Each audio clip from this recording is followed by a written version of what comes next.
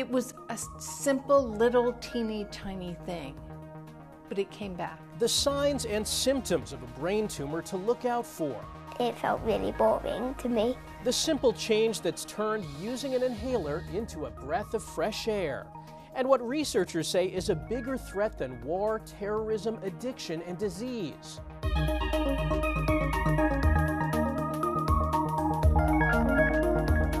Welcome to Eye on Health, where we focus on stories that affect your physical and mental well being. I'm Michael George. For the first time, the CDC says bird flu has caused respiratory symptoms in an infected dairy worker. There's a renewed focus on a vaccine for the avian flu. Stephanie Stahl has an update on what's being called promising research. Scientists at the University of Pennsylvania working on a new bird flu vaccine. It mounts a very good or elicits a very good immune response. Penn immunologist Scott Hensley led the study on mice and ferrets. He says with the bird flu now spreading from cows to dairy workers, it's showing signs of mutating. This virus is circulating very widely in birds and now in cows, and that scares me because cows are an animal that humans have a lot of contact with. What we fear is that the virus will start changing to replicate better in cows, and that some of those mutations that might occur during that process might facilitate better replication in humans. Could this turn into another COVID? Oh, I hope not. Uh, but I, you know, we never really know when a virus is going to make that jump from other animals into humans. Currently, the CDC says the threat to humans is low, but there is high interest in the vaccine that, in addition to people, might also be used in poultry or dairy cows. This new vaccine is following the same pipeline that led to the quick development of the COVID vaccine. mRNA vaccines are uh, such an agile platform. As soon as we see a new virus, whether it's a coronavirus or in this case a flu virus, we can very quickly design new mRNA vaccines to be specifically matched to what's circulating. Currently, the virus is contained to workers exposed to infected cows. There's been no human to human transmission, but there is now the first case of a dairy worker with respiratory symptoms, which might make it easier to spread. Stephanie Stahl, CBS News, Philadelphia. Maryland's health department reported its first heat related death this year a 59 year old man from Prince George's County. Arizona's Maricopa County has already seen at least four deaths, with dozens under investigation. Last year, excessive heat was linked to more than 2,300 deaths across the country, the highest in 45 years. 38% of the patients who came in with severe heat illness last summer unfortunately passed away. At Valleywise Health in Arizona, the number of patients with heat related illnesses jumped from about 15 in 2021 to 54 last summer. During the hottest months between June 1st and August 30th, we're seeing an average age range in the early 40s, which is a lot younger than usual. The average body temperature of the patients we treated last summer was around 107 degrees Fahrenheit. This year, all Phoenix Fire Department emergency vehicles are equipped with cold water immersion therapy to treat patients before they get to the hospital. So that's our goal is to improve patient survivability, reduce or eliminate that underlying cause for their medical event and deliver them to the hospital in a better condition than when we found them. And don't forget about our furry friends. According to PETA, there were 163 heat related animal deaths reported last year. Veterinarians say pets need extra attention. Careful uh, when they're outside and they're playing in the heat that they stay hydrated and they don't get overheated. Uh, you know, remember our dogs don't really, you know, they don't really think ahead per se. Uh, they're very good at living in the moment uh, which means that they can get overheated and they can they can wind up with heat stroke, which is which can be a very life threatening situation. PETA says there's been at least five animal heat related deaths so far this year. A new report says pollution is a greater global health threat than war, terrorism, addiction, and disease. According to data from a coalition of researchers, pollution was responsible for 8.8 million premature deaths between 2015 and 2022 and reduced worldwide life expectancy by 2.9 years. The authors say there's an immediate need to better monitor these pollutants and study how exposure to them raises cardiovascular risks. Well, the main driver of air pollution remains fossil fuels, the burning of fossil fuels. But you do have other sources of pollution, including other forms of combustion. And what happens is when you inhale this, it causes significant stress to your cardiovascular system, to your lungs, as well as other organs. And increases your risk for cardiovascular disease. It's now estimated that one in five deaths from cardiovascular disease are attributable to air pollution. CBS News medical contributor Dr. Celine Gounder says the most at risk groups are the very young and very old, and lower income families that are more likely to live closer to highways and factories. Lead pollution is also a major problem, especially when it comes to our children. A new study found lead in two popular organic based snacks. The CDC says kids under six are at the greatest risk to lead exposure, which can include damage to the brain and nervous system and slow development. Christine Lazar reports. Macarena Rizzo is very careful about the food she gives her 15 month old daughter, Venus. These are staples that you give to her a lot. Yes. That's why she bought these veggie puffs from the company Lesser Evil. Something close to homemade and I found that they have, or they supposedly have, uh, good ingredients. Uh, so that's why I picked them. But a new study from Consumer Reports discovered levels of lead in two snacks from Lesser Evil. One with 112% of the daily allowance, another had 60%, and an organic puff from the company Serenity Farms had 53%, according to California's lead standard, which is the nation's strictest. Both the Serenity and Lesser Evil snacks are made with flour from cassava root. A lot of these foods, especially when you consider root vegetables like cassava, they often get contaminated with lead through pollution, through the water, um, and contaminated soil. So in a lot of cases, there's it's unavoidable. Consumer Reports testing did find that two organic puff snacks from Once Upon a Farm made with sorghum flour instead of cassava have much less lead. In fact, one of them had the lowest reading we've had since we've tested these types of products since 2017. The company Lesser Evil tells CBS News food safety is a top priority, and we conduct extensive testing for all Lesser Evil products that complies with California Prop 65 and federal standards. And Serenity Kids says our puffs are and have always been safe for consumption all of our products test well below the maximum allowable dose levels. Consumer Reports recommends giving the cassava based snacks they tested in limited servings, but Rizzo says she's no longer going to use them. Christine Lazar, CBS News, Los Angeles. The U.S. has the highest rate of women dying in pregnancy or childbirth among high income nations. The Commonwealth Fund report found that there were 22 maternal deaths for every 100,000 live births in the U.S. in 2022. That rate was more than twice as much for black women. These numbers have declined since the pandemic. The report says the U.S. has one of the lowest supplies of midwives and OBGYNs, and that a majority of the deaths are preventable. Norway was the only country that recorded zero maternal deaths. Prenatal care is free and universally accessible there.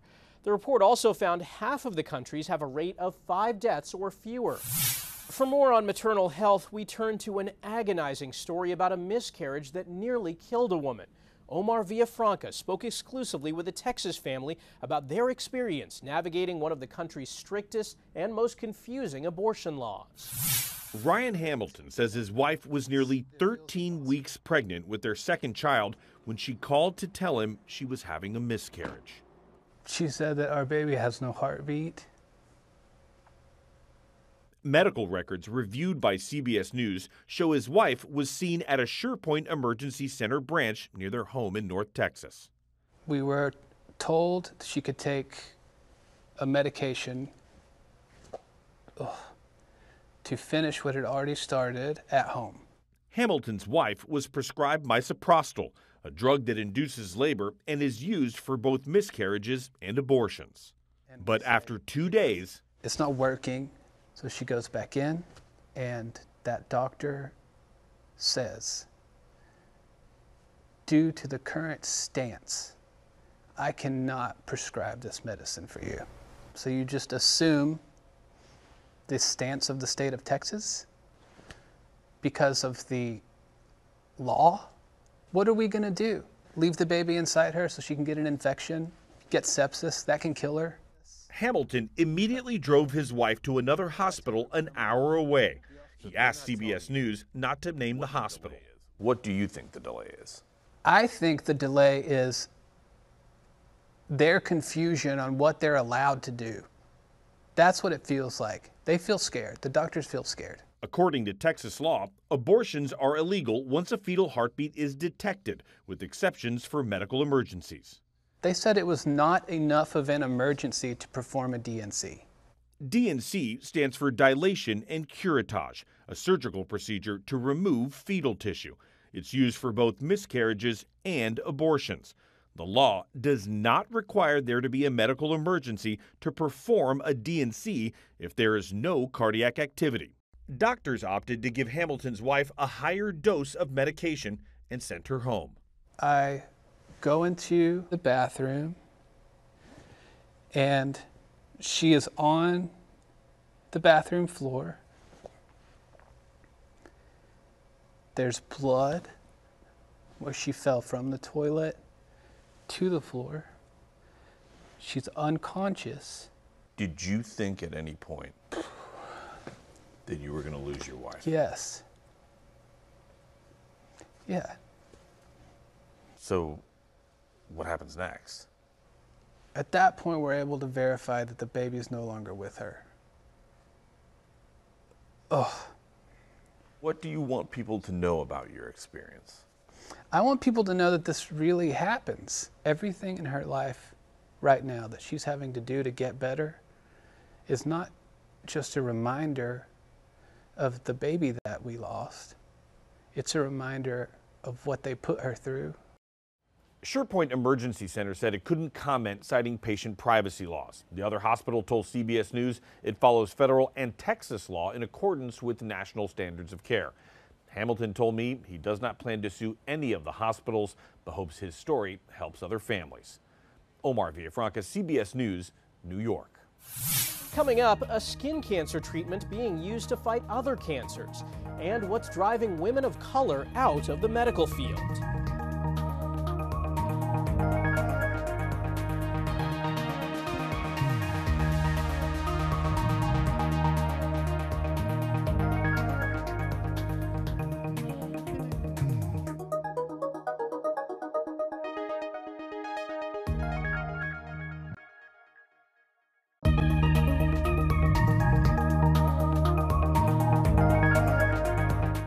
Welcome back. New research shows more female doctors of color are leaving their jobs due to burnout. Dominic Garcia has details on what's causing the exodus. A recent study conducted by the nonprofit Physicians for a Healthy California reveals a growing number of minority women doctors are feeling burned out and are just leaving their field of work. Our survey found that it was almost one in two. It was about 47% of all women physicians of color reported experiencing burnout and really being concerned about their wellness. That's a significant increase from the same study conducted in 2018. Lupe Alonso Diaz is the president and CEO of Physicians for Healthy California and the co author of a study called A Prescription for Change.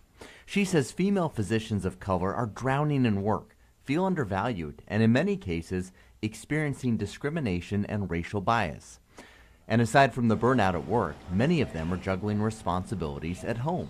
By the time that they got to work, they were already on their second shift, meaning that they're taking care of their children. They're also parenting their parents, so they truly are the sandwich generation. Alonso Diaz says with a shortage of primary care doctors nationwide, there's an urgent need to retain female physicians of color because they're filling critical roles in our communities that are much more likely to go and practice in those underserved communities where we have low income, under resourced communities, we have immigrant and refugees communities. So, what are some of the solutions to retaining more female physicians of color? So, the more that employers can create policies and practices that support all physicians, and particularly women physicians of color, the more that they'll be able to retain them. The study suggests other recommendations, like allowing anonymous employee feedback and compensating them for their work in equity, diversity, and inclusion roles.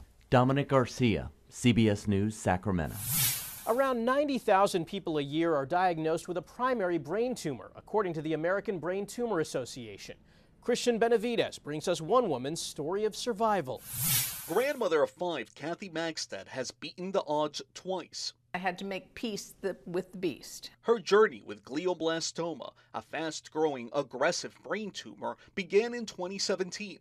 Her first symptom, uncontrollable twitching of her tongue. It was a simple, little, teeny, tiny thing, but it came back, and it came back. Her father died of the same brain cancer and was diagnosed at the same age, 63. My heart sunk. You know, you just, you can't help but think this is the way it's going to be. But Magstad's tumor was caught early. It was the size of two small raisins. Doctors at the University of Miami Sylvester Comprehensive Cancer Center performed an awake craniotomy. I don't want any invaders. Get them out. And they did. Dr. Macarena de la Fuente is chief of neuro-oncology at the center's new Brain Tumor Institute. Unfortunately, you know, the tumor came back five years after. So last year, she had a second surgery and took part in a clinical trial testing a mix of two chemotherapy drugs, one of only eight people in the world to participate. We check for uh, toxicities, whether the combination of drug is uh, safe. In her case, it was. Tests currently show her cancer is clear. The median survival for a glioblastoma is 18 months. We are here to provide hope. There is no cure for glioblastoma, but new treatments are helping patients live longer. how you feeling today? Hanging in. And Magstad is grateful for that. Cristian Benavides, CBS News, Miami. A recently approved treatment for melanoma is showing promise fighting other types of cancer. We look at how TIL therapy is doing what traditional chemotherapy cannot. John Kosick of Cincinnati is breathing a little more easily these days. They don't see any cancer in my scans, which is a plus, right? The 59 year old was diagnosed with advanced lung cancer in 2020, despite not smoking for nearly three decades. Surgery and traditional chemotherapy didn't keep his disease at bay, so Kosick was recommended for clinical trials of TIL therapy at the Ohio State University Comprehensive Cancer Center. Everything looks stable. Dr. Kai He's work helped win FDA approval of TIL, or tumor infiltration lymphocyte therapy, to treat metastatic melanoma. Now, TIL is showing promise in advanced lung cancers like Kosick's. We are trying to expand uh, horizon for this uh, treatment and hopefully bring the treatment to more uh, cancer patients to treat more cancers. TIL therapy works by extracting the body's immune fighting T cells, growing them in a lab to number in the billions, and infusing them back into the patient. A one time chemotherapy treatment clears out unhealthy T cells to make space for the new TIL T cells. March 6th marked two years since Kosick started the clinical trial, a process he says hasn't been easy, but he's grateful for the outcome. Yes, I'd go through that again for the result. Kosick is still working and spending time with his family and grandchildren, time he might not have had without this new treatment. After the break, how the Girl Scouts are battling loneliness and how this family found a colorful way to fight asthma.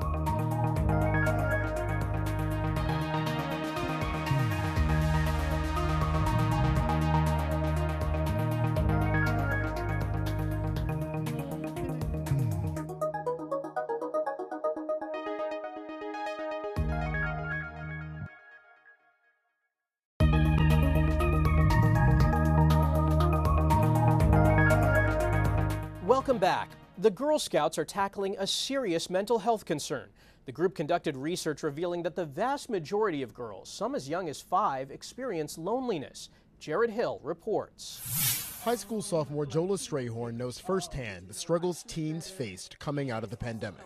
We all had to get used to like speaking to each other, like in person and social interactions. Girls were so isolated. They weren't in schools with each other. A new survey from Girl Scouts of the USA shows 70% of girls as young as five experience feelings of loneliness. And to know that it grows as they get older, and that also it really impacts their self confidence. The survey shows as loneliness increases, confidence drops. But friendship and meaningful connections can empower girls and build resilience. The National Alliance on Mental Illness collaborated with the Girl Scouts on this research. Kids living in today's society are constantly being inundated with messages, and their ability to step away from all of the information that they're receiving, is quite challenging. Experts say adults should keep an eye out for changes in their child's behavior, sleeping and eating habits, and have open conversations as a family. If we ignore these behavioral changes, then kids won't be able to get the tools, strategies, and resources that they need in order to cope with some of these challenges. Girl Scouts of the USA offers a variety of mental wellness programs to support girls. For Jola, she says confidence starts with yourself. Pump yourself up and to give you more confidence so you're able to know that you're like just as good as anybody else. Being a Girl Scout helps girls form lasting friendships, which the organization says is more important now than ever. Jared Hill, CBS News, New York. A new book has some parents rethinking their approach to raising kids in this digital age. It's called The Anxious Generation How the Great Rewiring of Childhood is Causing an Epidemic of Mental Illness. Author Jonathan Haidt argues we're overprotecting children in the real world while underprotecting them online, and that's leading to mental health challenges. All over the developed world, family life is the same. It's constant arguments over screen time. Like, we didn't ask for this. How is it that we're all spending so much time in this struggle? He points to a dramatic difference in the upgrade from flip phones to smartphones. In 2015, everyone's got a smartphone, front facing camera, Instagram. Lots of companies are competing for their attention. What happens? Time with friends plummets. Kids don't go over to each other's homes anymore. In between classes, it's quiet because everyone's on their phone. And this is exactly when mental health uh, levels of depression and anxiety double suicide is up by 50% loneliness the kids are so lonely yeah. because they're doing this all the time they're not connecting with people Haidt says solutions work best when parents act together. He suggests no smartphones before high school, no social media until age 16, phone free schools, and more free play and independence in the real world. Many lawmakers and schools are considering limiting the use of phones. An asthma attack can be one of the scariest moments for a parent as their child struggles for air. The CDC says roughly 10 people in the U.S. die every day from an asthma attack. Ian Lee reports on one man who's helping kids breathe easier. Martha loves to play, especially ping pong with her dad. But a severe asthma attack nearly killed the six year old from England. It was a massive shock. It was a bit like an out of body kind of experience. She was in a coma for a week. Uh, and then she stayed a, a good week after that as well. Martha recovered, and now her daily routine starts with five big breaths. Martha uses her inhaler twice a day, but initially refused to use it until a family friend, Will Hogg, gave it a funky makeover. I was only going to make one, but I saw that one in five children have asthma, um, and I thought, okay, there's such an opportunity to help more people. When I had the old one, I didn't really want to take it, so it felt really boring to me. Martha's duck and unicorn inhalers were an instant hit. Just seeing her immediately so much prouder of her inhaler and running around saying that it was her unicorn puff puff. Will and his wife now make handmade inhalers full time, producing more than 20,000 with fun patterns like dinosaurs, ducks, and soccer balls. We see around about four people a day dying of asthma in the UK, and we have one of the highest death rates because of asthma. The UK's National Health Service took notice and is looking to see if the designs could improve inhaler use with more young people. So far, we've seen really, really good positive feedback on the inhaler covers from families. All inhalers are now cool in this house, they are all customized. They're definitely hers now. With the new inhaler, everyone can now breathe a sigh of relief and focus on other things, like who serves next. Ian Lee, CBS News, London. That's this week's Eye on Health. I'm Michael George. Thanks for joining us and be well.